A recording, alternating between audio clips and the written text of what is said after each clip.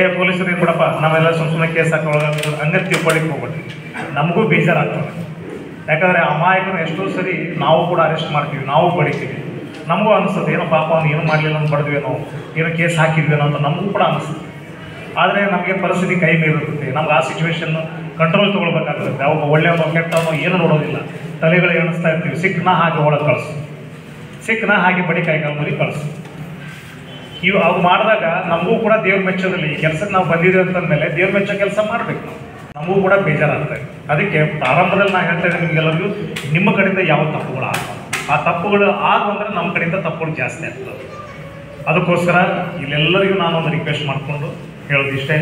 ಇನ್ನು ಮುಂದೆ ಎಲ್ಲರೂ ಸೌಹಾರ್ದಯುತವಾಗಿ ಬಾಳೋಣ. ಇದೊಂದು ಪ್ರಾರಂಭದ ಮುಂದಿನ ಅಥವಾ ಅವ್ರ ಕಡೆಯಿಂದ ತಿಳ್ಕೊಂಡಿದ್ದು, ಮನುಷ್ಯ ಮನುಷ್ಯನನ್ನಾಗಿ ನೋಡ್ತಾ ಇಲ್ಲ. ಅಲ್ಲಿ ಮಾನವೀಯತೆ, ಮಾನವೀಯತೆಗಳ ಮಧ್ಯೆ ಸಂಪರ್ಕ ಇಲ್ಲ. ಆ ಸಂಬಂಧಗಳ ಬೆಲೆ ಇಲ್ಲ. ಅಲ್ಲಿ ನಡೀತಾ ಇರೋದು ಆಸ್ತಿ, ಹಣ, ಅಂತಸ್ತು, ಅಧಿಕಾರ, ದ್ವೇಷ, ಅಸೂಯಿಗಳ ಒಂದು ಬಂಡವಾಳ.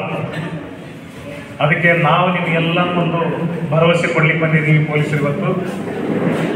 ನಮ್ಮ ಹಳೆ ಹುಬ್ಬಳ್ಳಿ ಪೊಲೀಸ್ ಠಾಣೆ, ಇಡೀ ಹುಬ್ಬಳ್ಳಿ ಧಾರವಾಡದಲ್ಲಿ ಅತಿ ಸೆನ್ಸಿಟಿವ್ ಅಲ್ಲಿ ಗಲಾಟೆ ಆಗ್ತದೆ, ಅಲ್ಲಿ ಅದಾಗ್ತದೆ ಇದಾಗ್ತದೆ. ಪ್ರಮಾಣ ಒಂದು ಭರವಸೆಯನ್ನು ತಗೊಂಡಿದ್ದೀವಿ.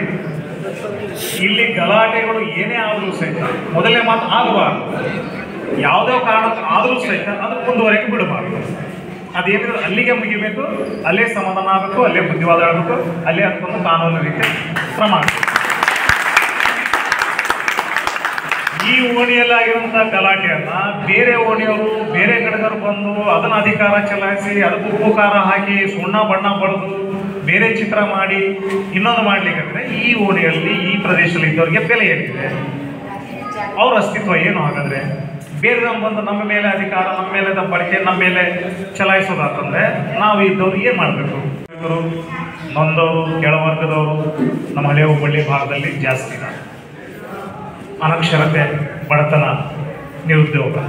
ಇವು ಮೂರನ್ನು ಬಂಡವಾಳ ಮಾಡಿಕೊಂಡು ಬೇರೆಯವರು ರಾಜಕೀಯನೋ ಧರ್ಮನೋ ಮತ್ತೊಂದು ವಿಷ ಬೀಜ ಬಿತ್ತಿ ಜನರಲ್ಲಿ ಒಂದು ವಿಷದ ವಾತಾವರಣವನ್ನು ದೇಶದ ವಾತಾವರಣವನ್ನು ಸೃಷ್ಟಿಸಿ ಗಲಭೆ ಅಂತ ಇಂಥವನ್ನು ಸೃಷ್ಟಿಸಿ ತಾವು ಅಧಿಕಾರ ಪಡ್ಕೊಳ್ಳೋದು ಅಧಿಕಾರ ದಾಹಕ್ಕಾಗಿ ಮತ್ತೊಂದು ಮಾಡುವಂಥ ಕೆಲಸ ಆಗ್ತಾ ಇದ್ದಾವೆ. ಅದು ಆಗಬಾರದು ಅನ್ನೋದು ನಮ್ಮ ಒಂದು ಪೊಲೀಸ್ ಇಲಾಖೆ ಒಂದು ಸದುದ್ದೇಶ. ಚೆಲ್ಲಿದ್ರೆ ವೇಸ್ಟ್ ಆಗುತ್ತೆ.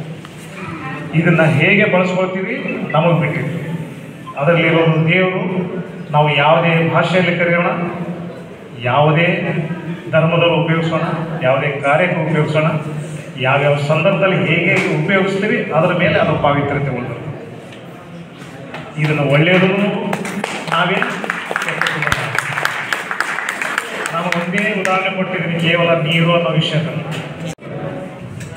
ಈ ಬಾಟ್ಲಿಯಲ್ಲಿ ನೀರಿದೆ. ಕನ್ನಡದಲ್ಲಿ ನೀರು ಅಂತೀವಿ. ಅದು ದೇವರು.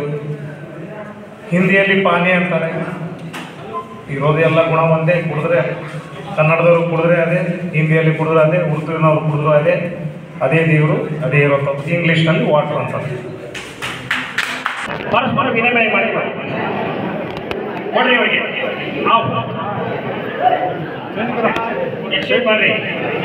ಇನ್ನು ಇದೇ ರೀತಿ ಆ ಭಗವಂತ ಸಿದ್ದಾರೂಢ ಇವರಿಗೆ ಇಂಥದೇ ಒಂದು ಭಾಗ್ಯವನ್ನು ನೀಡಿ ಇಂಥ ಒಂದು ಕರುಣೆ ದೈವ